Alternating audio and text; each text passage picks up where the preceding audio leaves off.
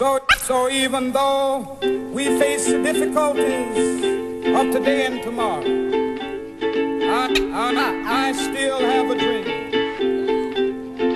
It is a dream deeply rooted in the American dream. I, I, I have a dream.